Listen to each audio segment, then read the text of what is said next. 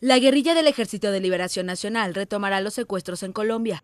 Los insurgentes que mantienen negociaciones de paz con el gobierno argumentaron que las autoridades incumplieron su compromiso de entregarle donaciones de la comunidad internacional. El grupo rebelde, en tregua con la fuerza pública desde 2023, había acordado suspender de forma unilateral y temporal los secuestros.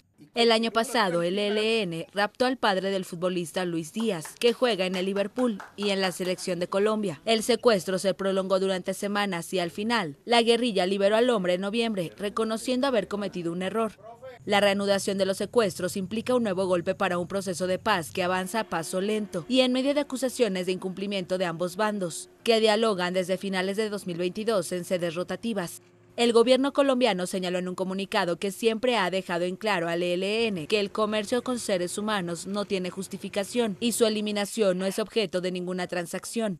Según el gobierno, el fondo multidonante al que se refiere el ELN es para la financiación de los diálogos de paz y de ninguna manera se creó como contraprestación a la suspensión del secuestro. En tanto, la Estatal Defensoría del Pueblo, que vela por los derechos humanos, afirmó en un comunicado que el ELN demostró por enésima vez la poca voluntad que tiene para sacar adelante una conversación de paz.